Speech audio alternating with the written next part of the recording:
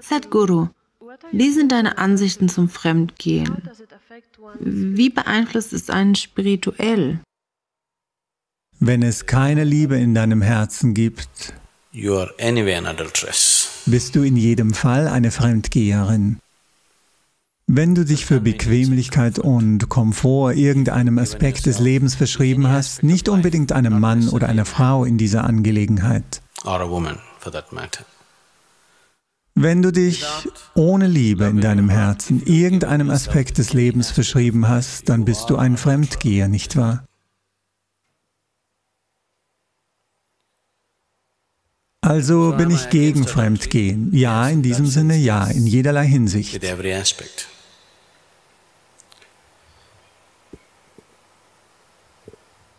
Aber falls du darüber sprichst, was gesellschaftlich als Fremdgehen gilt, ist das individuell zu sehen und für jede Handlung, die du ausführst, gibt es eine Konsequenz.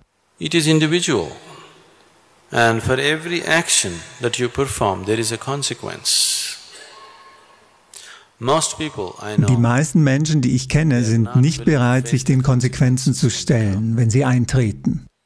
Aber ohne sich den Konsequenzen zu stellen, möchten sie Situationen haben, die sie genießen.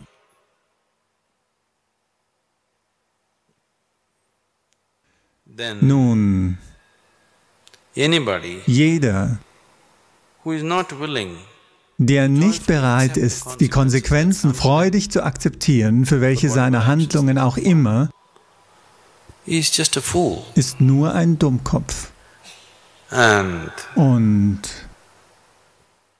ein Dummkopf ist jemand, der in vielerlei Hinsicht gegen sich selbst ist.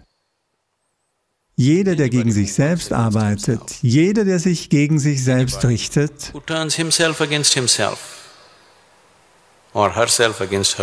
oder jede, die sich gegen sich selbst richtet, was sollen wir über sie sagen? Also, mit deinen Handlungen, wenn du dich gegen dich selbst richtest, weil du Dinge auf eine sinnlose Weise tust, dann tust du Dinge nicht freiwillig.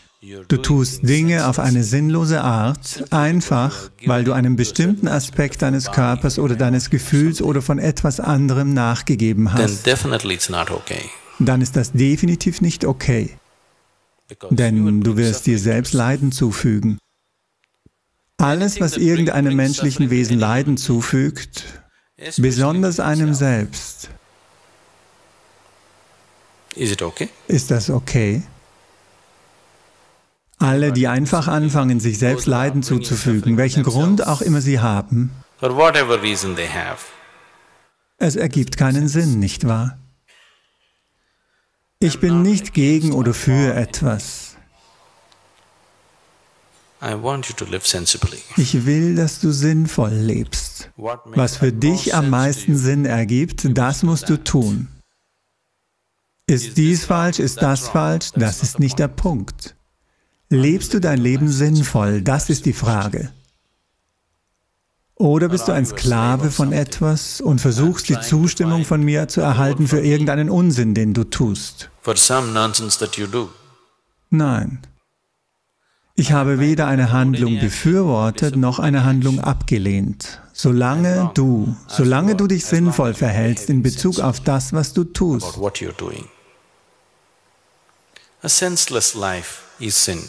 Ein sinnloses Leben ist Sünde, nicht wahr?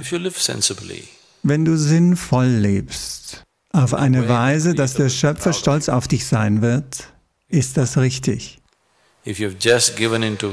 Wenn du nun entweder den Impulsen deines Körpers oder deiner Gefühle oder deines Verstandes nachgegeben hast und dich gegen dich selbst richtest, ist das nicht sinnvoll. Also eine solche Sinnlosigkeit, ist sie falsch? Ich sage nicht einmal, es ist falsch, es ist nur sehr beschränkt und dumm. Ich habe in meinem Leben nie etwas als richtig oder falsch bezeichnet. Aber alles, was beschränkt und dumm ist, lohnt sich nicht. Das ist alles. Also würde ich sagen, Fremdgehen lohnt sich nicht. Ist es richtig oder falsch? Wer bin ich, ein Urteil über irgendetwas am Leben zu fällen? Ich fälle keine Urteile über das Leben. Aber es ist dumm und beschränkt, irgendetwas zu tun, das dir selbst Leiden zufügt. To do anything which causes suffering to yourself. Es ist dumm und bedeutungslos, etwas nachzugeben, was heute alles zu sein scheint und das sich morgen wie einen Dummkopf fühlen lässt, nicht wahr? Es ist dumm, etwas nachzugeben, was dich heute denken lässt, es sei alles und dich morgen früh vor dir selbst wie einen Dummkopf aussehen lässt, nicht vor jemandem anders. Das ist eine sinnlose Weise zu leben. Du musst auf eine Art leben mit so viel Sinn, dass Götter auf dich neidisch sein sollten. Wenn du so viel Sinn aufweist, ist nichts richtig oder falsch mit deinem Leben. Wenn du einen solchen Sinn nicht hast, ist alles falsch mit deinem Leben.